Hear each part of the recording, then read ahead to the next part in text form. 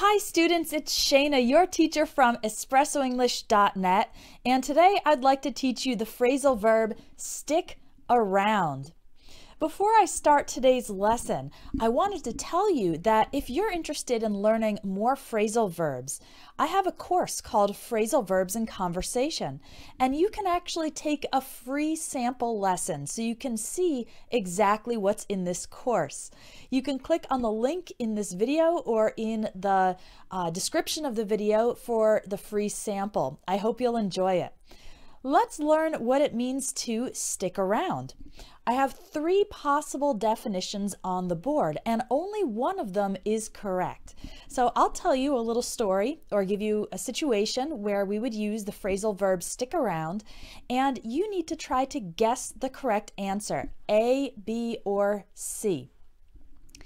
So when I was a child, I would go to church with my family. It was my parents and my brother and I.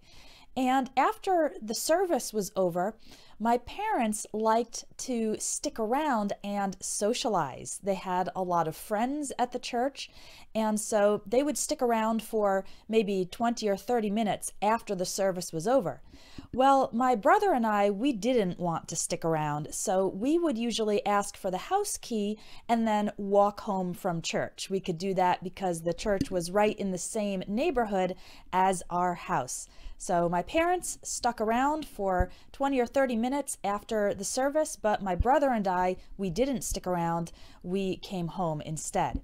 So based on this situation, what do you think it means to stick around? Does it mean A, to offer help, B, to stay in a place, or C, talk to a lot of people. You can post your answer in the comments and in just a moment I will tell you which one is the correct definition.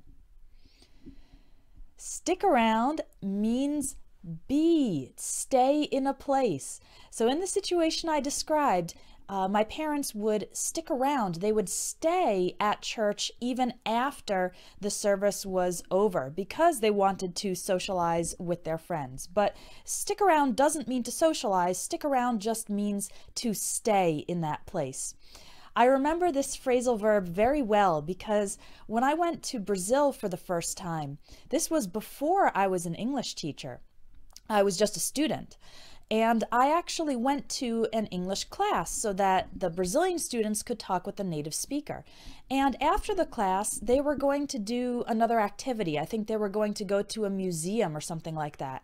And the teacher asked me, oh, would you like to join us for uh, this next activity? And I replied, yeah, I think I'll stick around for a while. And a lot of the students looked at me like, what does that mean, stick around? And I quickly uh, explained that stick around means to stay in this uh, situation or stay with the group of students. You can also use stick around not just for staying in a physical place, but in a situation like I just described, staying in a situation or staying with a person. For example, if you have a friend who has had bad luck in romantic relationships, then you might say she's had a lot of boyfriends in her life, but none of them have stuck around. That means none of the boyfriends have stayed with her or stayed in that relationship. I hope this helps you understand what it means to stick around. Why don't you go ahead and try to use it in your own sentence? Post a comment under this video and try to use the phrasal verb stick around. And again, if you'd like to Take a sample lesson from the Phrasal Verbs in Conversation course. The sample lesson is exactly what you're going to get in the course. It will be a dialogue that will teach you between 15 and 20 phrasal verbs and then some uh, a quiz and some exercises for you to put them into practice. That's all for today's lesson. Bye.